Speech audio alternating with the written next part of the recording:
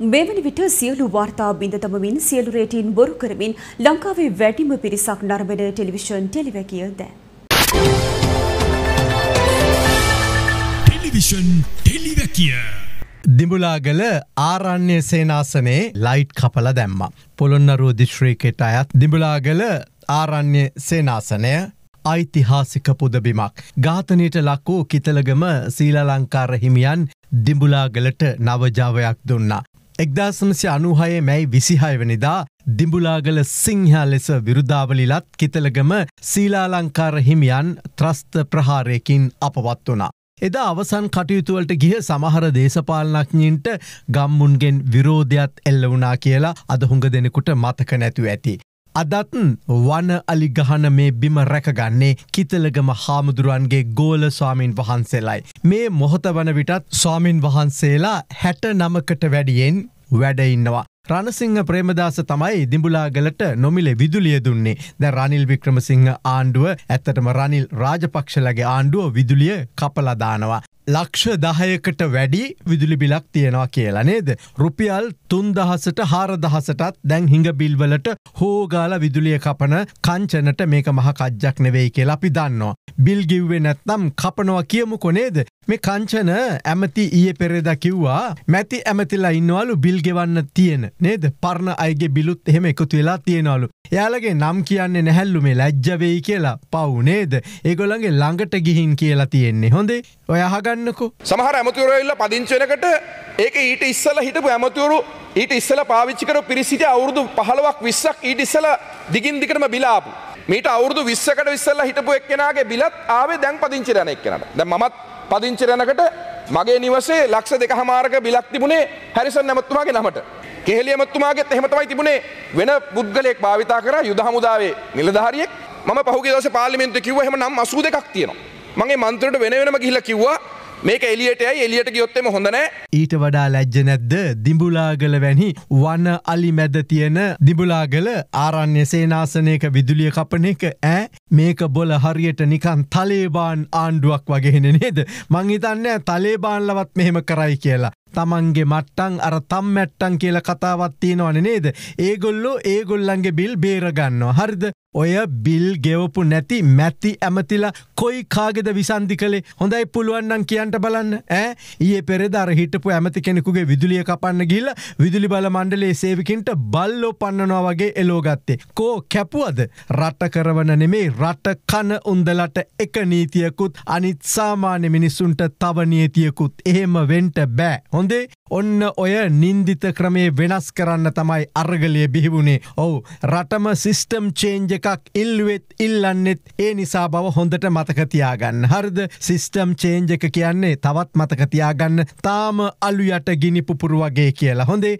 අර අපේ හාමුදුරුවනේ කියලා පපුුවට දඩි බිඩිගාලා මේ තඩිබාගන්න මහා සිංහල බෞද්ධ පිරුවටය දැන් ගැලිවිලා අහවරයි කියලත් මහින්ද රාජපක්ෂලටත් මතක් කරන්ටම ඕනේ. නාමල් ඔයාගේ අංකල් ආයේ ඔයාගේ අර මහා සිංහල බෞද්ධකම ආං ඒ මිත්‍යාව දැන් රටටම හොඳට හෙළි කරලා නිරුවත් කරලා අවසන්.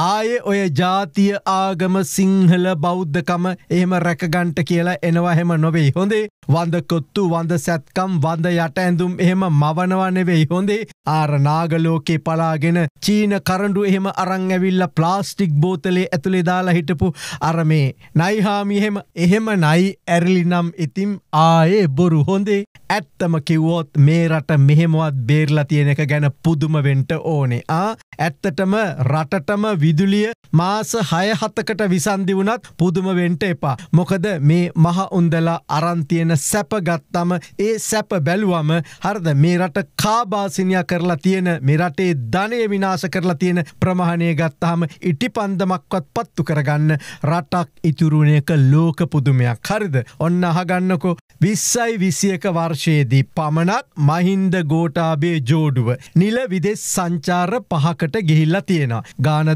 දන්නවද නිල විදෙස් සංචාර පහයි ගාන කෝටි හතරයි. හරද ඊට පොඩ්ඩක් වැඩි ඈ කොහොමද වැෑකිරිල්ල. විදෙස් සංචාර හතරකට අයිය මලෝ දෙන්න කෝටි හතරය. ඒ ගැන ඔය අද පුවත්පත සවිස්තරාත්මකව වාර්තා කරලා තියෙනවා. හිටපු ජනාධිපති විස්සයි විසියකේදී නිව්යෝග්ගිහින් තියෙනවා. ඉළඟට මේ බ්‍රිතාන්නේ ග්ලාස්ගෝ සහ එක්සත් අරාබි එමිරාජය තුළ සංචාරය කරලා තියෙනවා. ඒකැන්නේ ගෝටාවේ රාජපක්ෂ රටවල් තුනකට ගිහිල්ල තියෙනවා විස්සයි විසියකේදී. මොකටද ගිය කියලා ඔය ජනාධිපති ලේකම් කාර්යාලයවත් හරියට දන්නේ නෑවගේ තමයි පේන්නේ. ඔන්න ගිය වියදං අහගන්ටක හොඳේ නිවියෝ ගමනට වැය කළ මුදල. රුපියල් පනස් හතර ලක්ෂ හැට එක්දාස් දෙසිය විසි එකයි. සත අයින් වුණ. හොඳේ ග්ලාස්ගෝ එක යන්නේ මහබ්‍රිතාන්නයට. රුපියල් දාහත් ලක්ෂ අසූපන්දාස් දෙසිය දහයයි. සතහතලිස් දෙක ගැලෙව්වා. එක්සත් අරාබි එමිරාජ්‍යයට රුපියල් පන් ලක්ෂ විසි එක්දාස් අටසිය අසූ අටයි. හරිද දැම් මුළු එකතුව රුපියල් හැත්තෑ හත් ලක්ෂ හැට අටදාස් තුන්සිය දහ නමයයි. ඉළඟට මහින්ද රාජපක්ෂ විස්සයි විසියකේදී අගමැතින නේද? විදෙස් සංචාර දෙකක් ගිහින් තියෙන දෙකයි ගිය හොඳ වෙලාවට. හරිද? අහගන්නකො ගාන විස්සයි විසියකේ මාර්තු ගිහිලතින බංගලදේශයට. පනස්වැනි නිදහස් දිනවුලෙලටලු හරිද? වැය කළ මුදල රුපියල් එක්කෝටි පන්ලක්ෂ හැට අටදස් නමසිය හැට දෙකයි. රුපියල් එක්කෝටි පන්ලක්ෂ හැට අටදස් නමසිය හැට දෙකයි. ඒ කියන්නේ රුපියල් කෝටියක් විතර වැය කරලා. හරිනි ඉළඟට විස්සයි විසියකේ සැත්තැම්බර්. විස්සයි විසේකේ සැප්තැම්බර් ඉතාලියේ G20 සමුළුවට ගිහිල්ල. හරිද එකට රුපියල් මිලියන විසිහයකට වැඩි. ඒ කියන්නේ කෝටි දෙකකට වැඩි. හරිනි මහින්දගේ මේ ට්‍රිප් දෙකේ එකතුව විතරක් රුපියල් රුපියල් කෝටි තුන පනිනවා. හරිද එතකොට දැන් අයියමලෝ ට්‍රිප් තුනටම කෝටි කියද කෝටි හතරයි.